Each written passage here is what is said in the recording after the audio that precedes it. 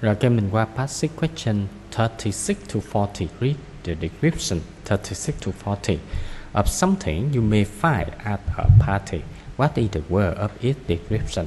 Đọc cái mô tả từ câu 36 đến 40 về vài thứ mà bạn có thể tìm thấy ở tại một cái buổi tiệc. Cái từ đó là gì? Cái ký tự đầu tiên thì có rồi. Mỗi một khoảng trống thì nó sẽ đại diện cho một ký tự ở trong từ. Đối với câu 36 40 thì bạn sẽ viết cái từ này lên cái tờ trả lời. Rồi người ta mình, cho mình ví dụ là, everybody like to eat a piece of this. Mọi người thì thích ăn một miếng này. Và bắt đầu bằng vần C người ta cho mình là K C A K E. Ok 36 you need it if you want to dance. Bạn cần cái này nếu mà bạn muốn nhảy.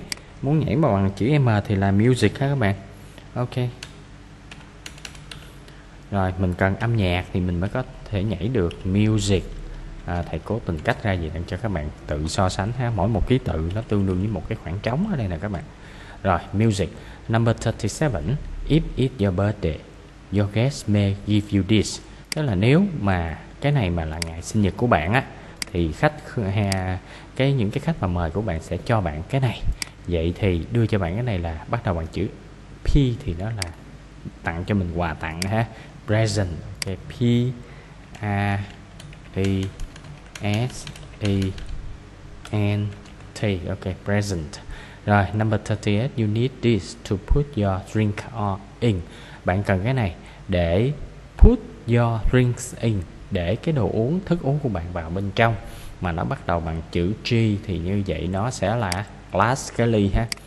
G L A S S. Ok.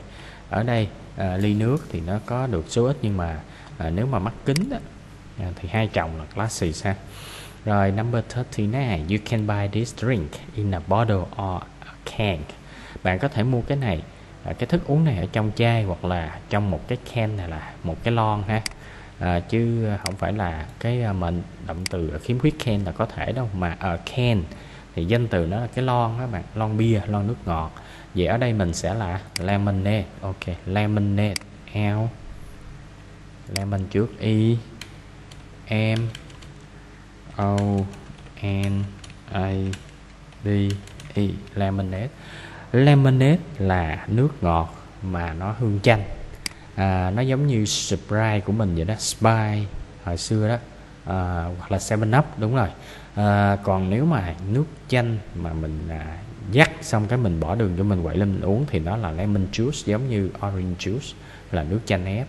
Còn à, lemonade này là nước ngọt hương chanh ha you hope the people will come to your party. Bạn hy vọng những cái người này nè sẽ đến cái buổi tiệc của bạn. Buổi tiệc của mình thì mình sẽ mời ai các bạn? Friend bạn bè ha. Rồi ở đây số nhiều nữa mình thêm s vô ha nó mới đủ chữ. À, nếu bạn nào không có điền tới đây rồi mà không biết cái cuối này cái gì thì bạn à, coi cái số nhiều số ít trước và mình lưu ý nha. Hope these people là số nhiều nè cho nên bên này friend của mình cũng phải số nhiều ha. Rồi thầy đọc lại cho các bạn everybody likes to eat a piece of this you need this if you want to dance If it's your birthday, your guest may give you this. You need it to put your drink in. You can buy this drink in a bottle or a can.